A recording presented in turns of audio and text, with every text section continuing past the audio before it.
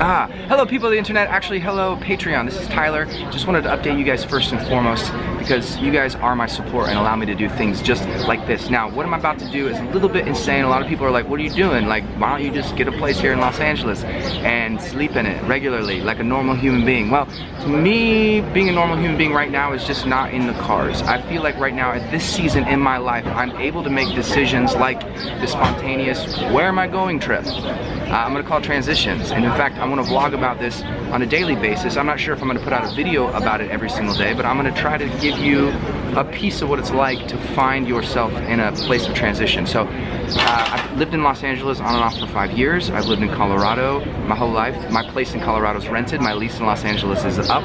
And I am thinking about getting a mattress for the back of my freaking Jeep. Yeah, this is kind of crazy. But I want to update you guys and let you know what is actually happening. I'm going to be posting most of my vlogs and such, I believe, on Tyler Ward TV. I'll integrate Tyler Ward music into it a little bit. Um, and I'm to try to stay as consistent as possible on Tyler Ward music uh, once a, vi a video every Saturday. I might miss some things here and there. but uh, what am I trying to say right now? Oh, I know what I'm trying to say. I'm see, whenever I overthink, I just stop talking. I wasn't thinking for a second, and I realized I was on video. So now I'm just gonna give you this complete, unedited thought process of how this whole thing actually works out. Um, yeah. So here we go. Back to the train of thought. Yes. Oh, I'm gonna be updating you guys on Patreon. Uh, I'm actually scratch that. I'm not gonna be updating you all the time on Patreon. My minute to minute update is going to be on Snapchat.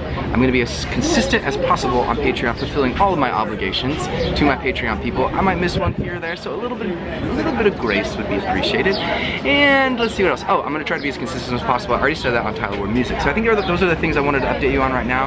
Uh, things are little bit uh, up in the air. My brain pretty much changes every four hours. I could have a place in the next two days. I could not have a place in the next two days. Uh, but right now I feel like it is time for me to just explore and just wait patiently and see what kind of transforms and, trans and transpires. Because there's no other time like this where I could be able to make these decisions. Um, I have very, very, very minimal commitments and um, it's really exciting.